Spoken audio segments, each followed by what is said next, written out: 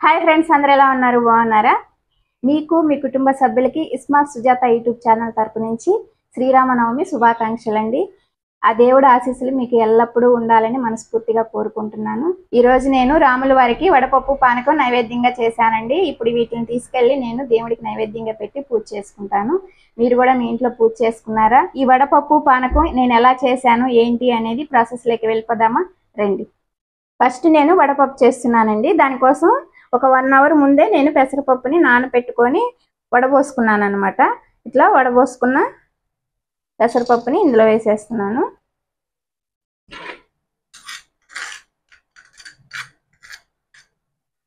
తర్వాత మ్యాంగో ముక్కలండి మామిడికాయ ముక్కలు.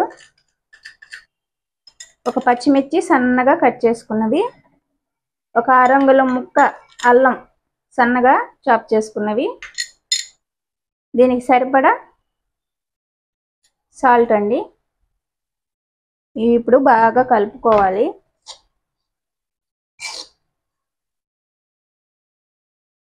అంతే అండి. సింపుల్. వడపప్పు రెడీ.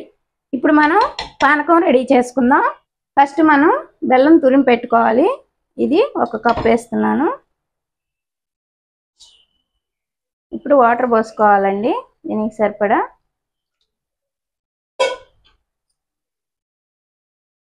బెల్లం కరగాలన్నమాట ఇందులో.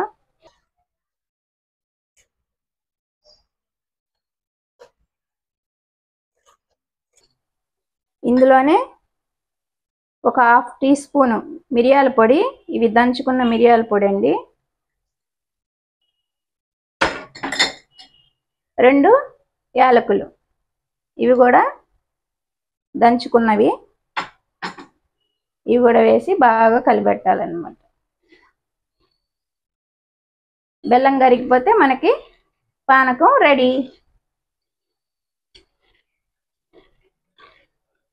చాలా సింపుల్ కదండి రాములు వారి ప్రసాదం నైవేద్యం చేయడం. అంతే అండి. నైవేద్యం రెడీ అయిపోయింది. ఇప్పుడు మనం ఇది దేవుడికి నైవేద్యంగా పెట్టుకొని పూజ చేసుకుందాం. ఓకేనా?